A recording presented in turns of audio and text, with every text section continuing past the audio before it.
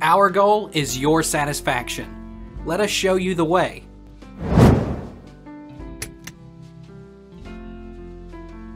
How do I get Google Play on my Samsung Smart TV? Watch Google Play movies on a smart TV. On your Android TV, from the home screen, scroll down to the Apps row.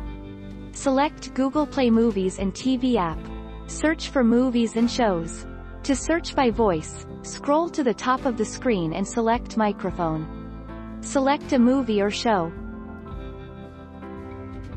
Can you download Android apps on Samsung Smart TV? You can add the pre-installed apps by going to the Apps option on your Samsung Smart TV's home screen.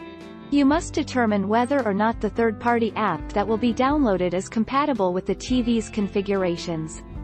To complete your downloads, you will also need a computer and an internet connection. Take our lead. Let's help you make your mark.